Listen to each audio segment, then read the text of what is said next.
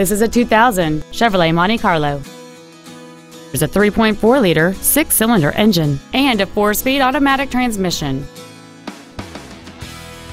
Features include full power accessories, a rear window defroster, tinted glass, dusk sensing headlights, an anti lock braking system, a passenger side airbag, and air conditioning.